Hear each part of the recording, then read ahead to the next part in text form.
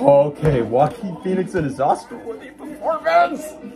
How about another joke, Murray? Whoa, the cinematography looks beautiful. Hey, Lady Gaga's Harley Quinn. Hmm. Two souls. Whoa. The cinematography aesthetics. I'm just gonna say it. City of Scars. Let's put a smile on that face. That laugh gets me chills every time. Lipsticks. Ah, they're doing the dance. You get what you deserve.